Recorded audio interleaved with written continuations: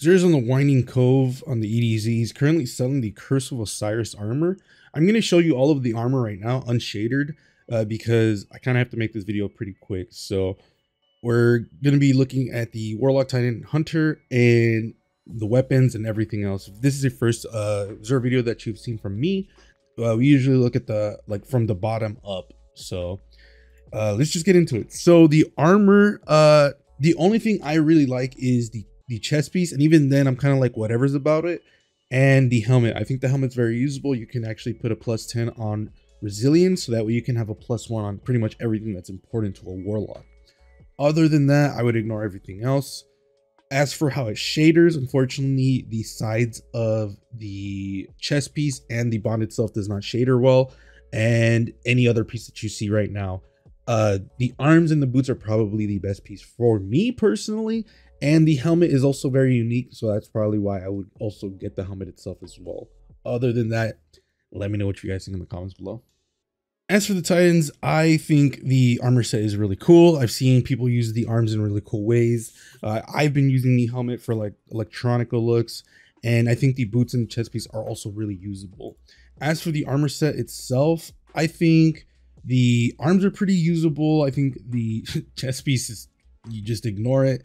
The helmet you can definitely use. Uh, you can definitely use it with like bump up your resilience, go all the way up to resilience, and then put another piece that's focusing on recovery and discipline all the way up, and just to equalize it.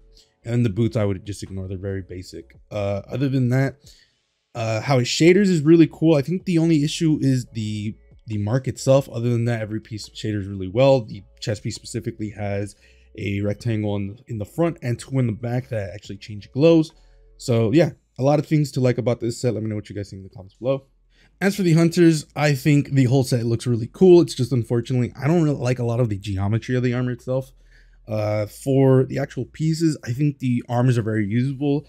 You, unfortunately, you would have to find another piece that has high recovery this is kind of boring, this is kind of boring, and this is also kind of boring. So, well, all of these you can use. I specifically the boots you could definitely use. It's just for me, uh, mobility is really important for me. So, as for our shaders, shaders really well actually. So, there's not a lot of pieces that I would recommend aside from maybe the boots. The boots are really cool. The arm has a really cool like one armor piece on one of the sides.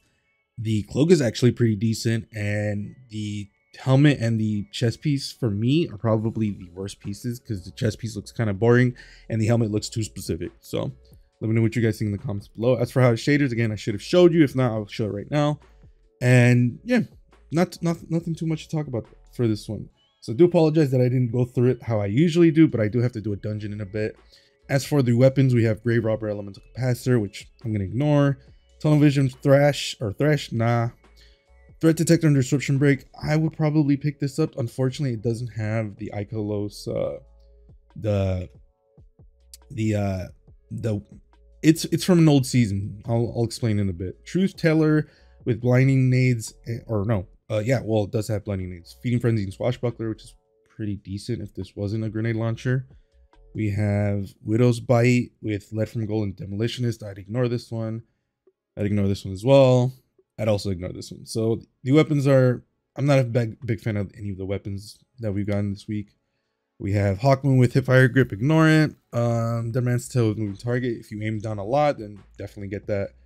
We have Sweet Business, Gemini Jester with pretty okay rolls. Eternal Warrior, I would pick this up just if you don't have it. And Claws of Ahamkara, which is really good. Uh, the rolls are actually pretty decent. 23 resilience is pretty nasty and 8 recovery is pretty decent because once you uh, put a plus 10 on this it'll be 20 once you master work so pretty decent as well as for the exotic let's actually see what i get Frostees i'm not gonna say no oh no well uh i guess i'll just leave a comment at this video telling you what i think um ignore what ignore this this is not my cowboy look that i'm making for the cowboy armor so let me know what you guys think in the comments below. Again, I do apologize. This video is a little faster than usual, but yeah, let me know what you guys think. If you guys want to follow me on my social media it's in the description below. I have a lot of content planned. I already have all of the Warmind armor, which I'm definitely going to make a video for just the hunters because I'm going to be doing all of the armors individually, aside from the ones that I'm, I'm going to buy, specifically the Assassin's Creed armor. And and the uh, arc armor, which we'll get by the end of the season. So let me know what you guys think. Think. Be safe, and I'll see you guys later.